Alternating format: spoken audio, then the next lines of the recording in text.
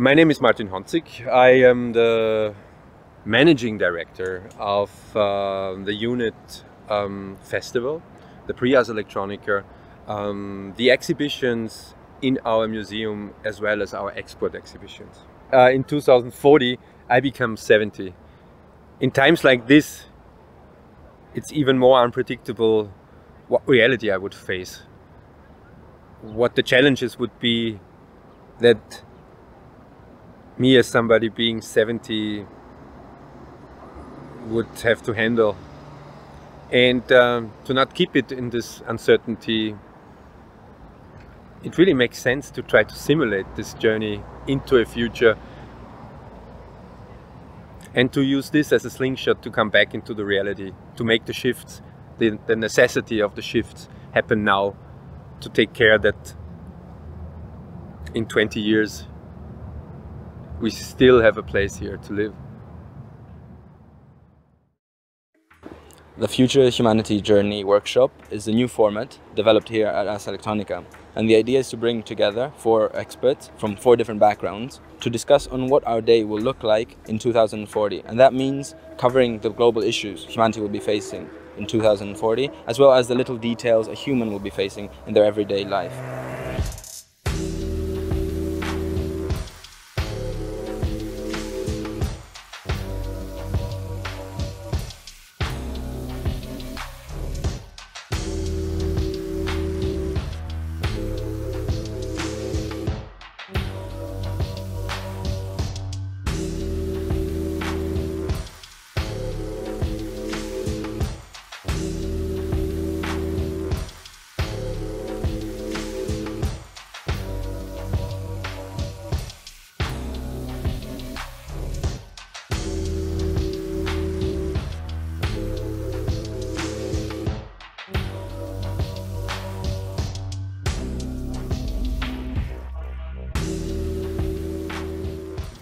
Um, my name is Yoko Shimizu. I am an artist and researcher at the Ars Electronica Future Lab.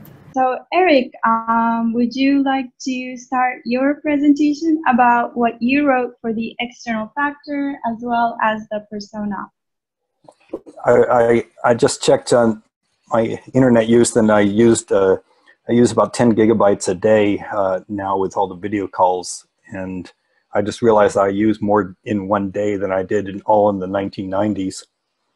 And uh, I expect that in 2040 we're going to be seeing uh, massive amounts of, of data uh, moved around, but between people, maybe a division between the people that are hyper connected, and then the rest of the people are uh, are.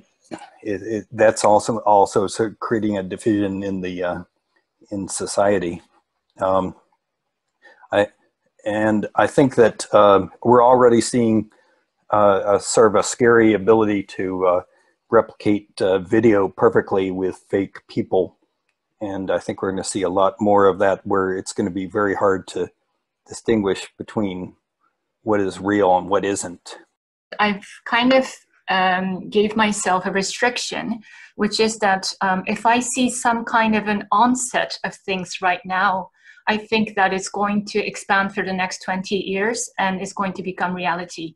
So I've just um, kind of articulated the things that's already here, but maybe some people don't really realize. So that's my starting point and the question. And um, so this is my board here. And it kind of resonates a lot with what um, Eric was just saying, but I just um, want to start from here, which is the corporate reality and psyche, which is my human side. These fickies, a lot of them are taken from a lot of theater performances that I've seen actually in the past few years. So um, a lot of artists are imagining these kind of futures already. And so the first part is that, as Eric was saying, the third sticky right here is that the individual thinking vanishes a lot because we are hyper connected. So we, we start thinking together with like maybe 500 people and that becomes the norm. I do agree that there is this feeling of being in your own security network, but there is also a deep uh, craving um, like there's something disturbing about these bubbles and people uh, even though they may be at a certain comfort zone but they're still craving for something that they cannot really put into words which is a more um, human connection beyond those uh, uh, bubbles so there is a growing movement the way i see it of uh, looking for communities looking for communa in the uh, uh, revolutionary anarchist sense, um, transcending these bubbles and these limitations. The, the exact metaphor of what's happening right now is Uber. Uh, for talking with some about something that's going to happen in 20 years from now is a great idea in terms of storytelling. Yeah. But I think it's also interesting to to see like yeah the, those two points. Um, mm. So the interface and the thing that makes us more um, like the human side of the interface, let's say. 20 years AP, like after pandemic. Mm-hmm. oh, that's interesting. Okay. Do you think this is the last one? yeah, I guess. I mean, the one that made a difference for this generation somehow. Mm. Mm-hmm. Sure.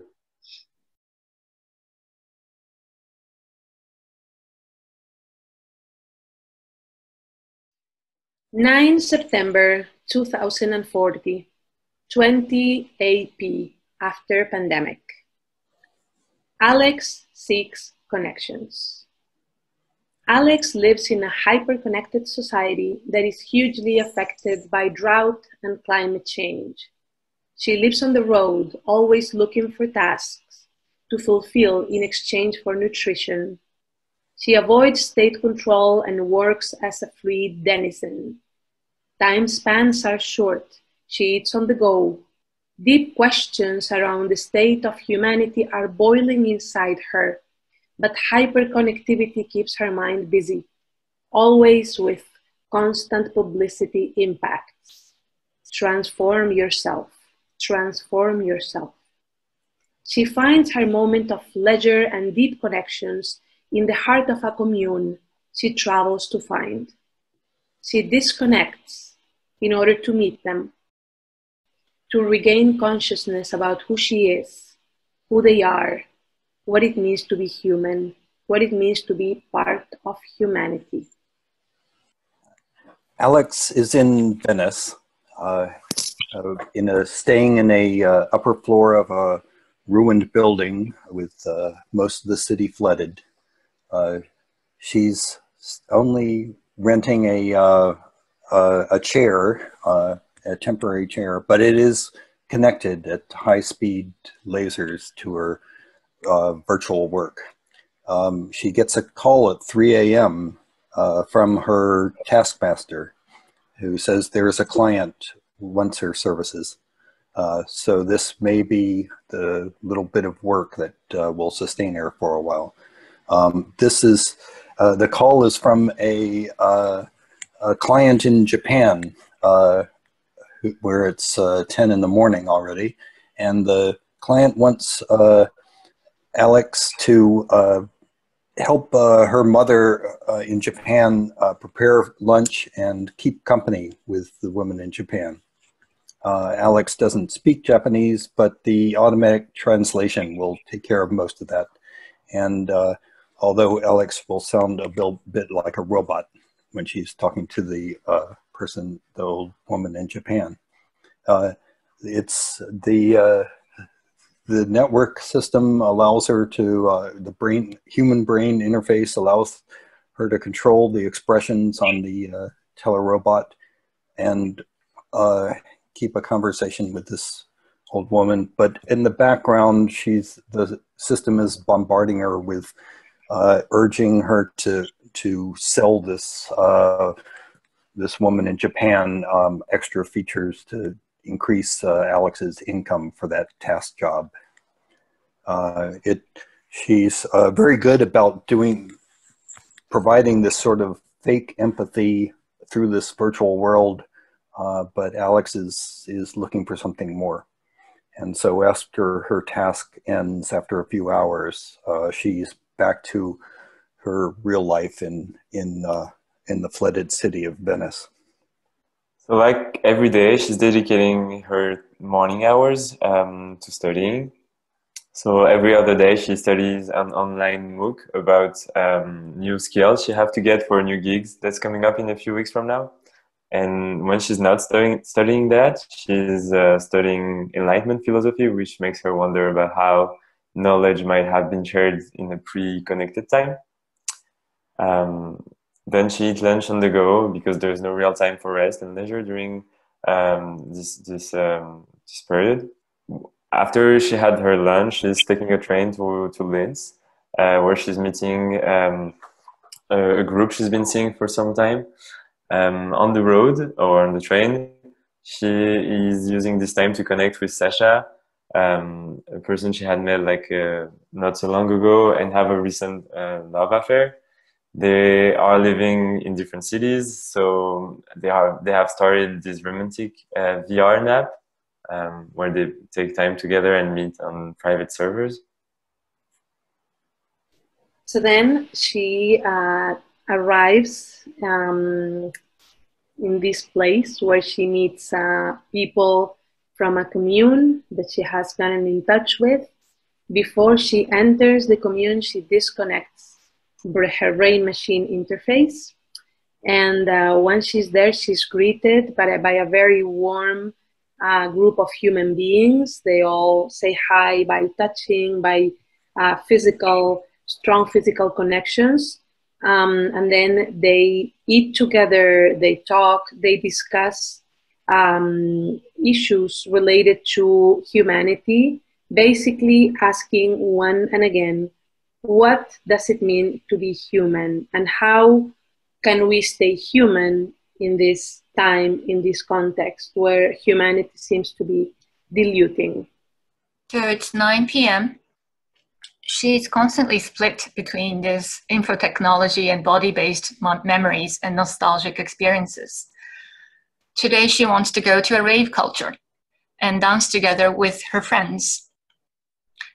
In an abandoned building, somewhere alongside a suburb of Linz.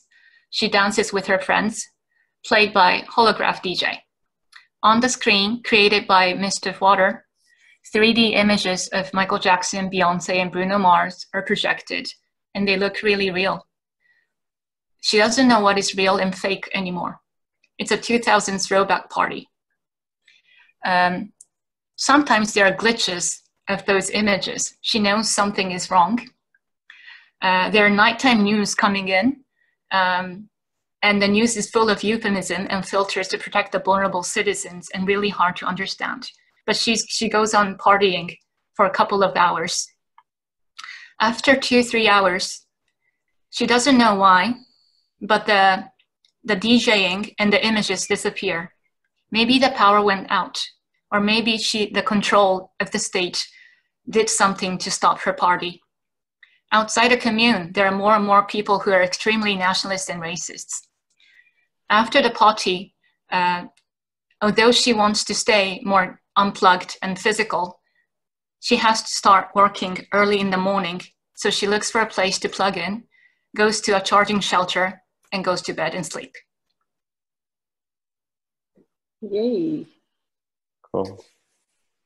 I definitely want to thank you. For me, it was and I mean this is really a privilege to be right here on this Zoom call with each and every one of you and hearing these thoughts firsthand. I think it's extremely cool and so interesting and food for thought for the next 20 years at least. And uh, most definitely, thank you. Thank you very much for that.